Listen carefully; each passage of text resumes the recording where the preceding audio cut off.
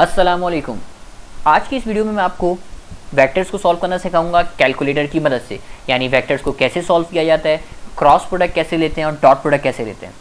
तो cross product निकालने का तरीका तमाम लोगों ने सीखा होगा। हमारे पास दो वैक्टर्स होते हैं वैक्टर्स ए और वैक्टर बी इन दोनों वैक्टर्स को आप सॉल्व करते हो डिटर्मिनेंट मेथड से, सारे स्टेप्स करते हो और आपके पास क्रॉस प्रोडक्ट का आंसर आ जाता है ten I plus three J plus eleven के ये सिंपल सा एक आंसर आ गया। अक्सर स्टूडेंट्स इसमें मिस्टेक करते हैं क्योंकि सिर्फ़ प्लस और माइनस के चेंज की वजह से आंसर टोटली डिफरेंट हो जाता है।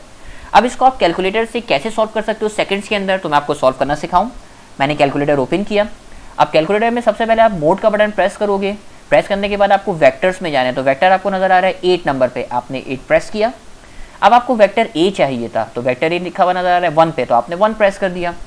अब वेक्टर ए में देखो आप तीन चीज़ें। आई जे और के तो तीन चीज़ों के लिए वन लिखा हुआ तो आपने फिर वन प्रेस कर दिया।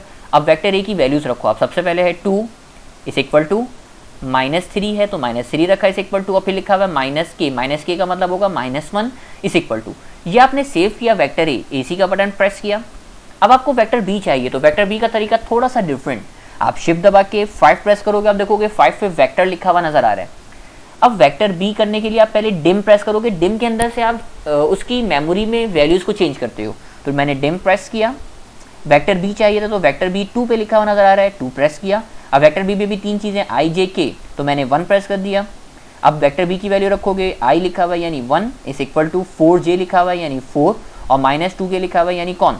माइनस टू ये मेरे पास दोनों वैक्टर सेव हो गए। अब आपको क्रॉस प्रोडक्ट चाहिए था तो क्रॉस प्रोडक्ट निकालना सिखा रहा हूँ, तमाम लोग ज़रा सीखिएगा।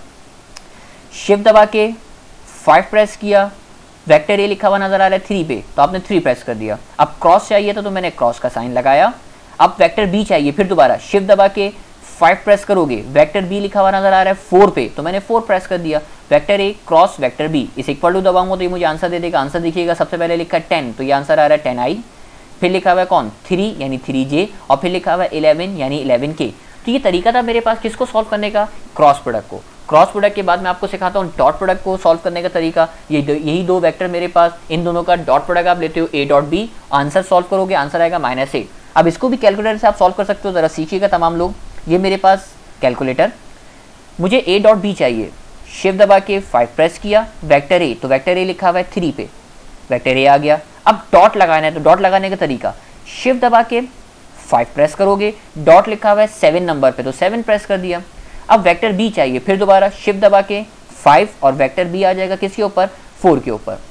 A dot B is equal to दबाया तो आंसर आ जाएगा मेरे पास क्या? माइनस ए तो ये तरीका था मेरे पास क्रॉस प्रोडक्ट और डॉट प्रोडक्ट निकालने का।